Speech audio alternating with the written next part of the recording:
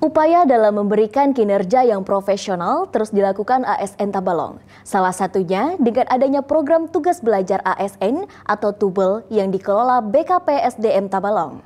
Terdapat empat tubel yang diprogramkan BKP SDM Tabalong untuk menunjang tubel tersebut.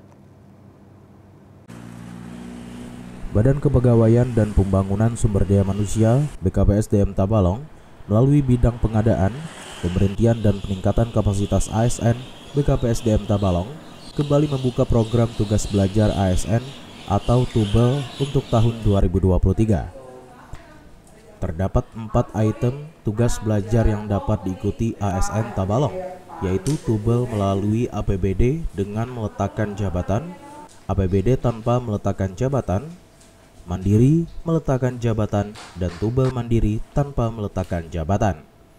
Adapun sejumlah syarat utama untuk mengikuti tugas belajar 2023 yang dapat diakses melalui aplikasi Smart Birokrasi, yaitu memiliki surat rekomendasi dari pimpinan perangkat daerah, fotokopi jasa terakhir yang telah dilegalisir, fotokopi sah SK pangkat terakhir yang telah dilegalisir, dan dokumen lainnya sesuai persyaratan yang telah ditetapkan.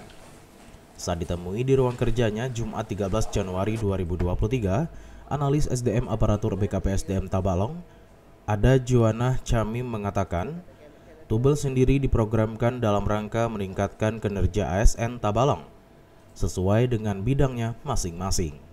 Tujuannya yaitu untuk pengembangan eh, pengembangan diri, pengembangan pegawai negeri untuk eh, meningkatkan kualitas sumber daya manusianya eh, dan untuk meningkatkan selanjutnya secara global uh, untuk meningkatkan kinerja uh, di masing-masing SKPD.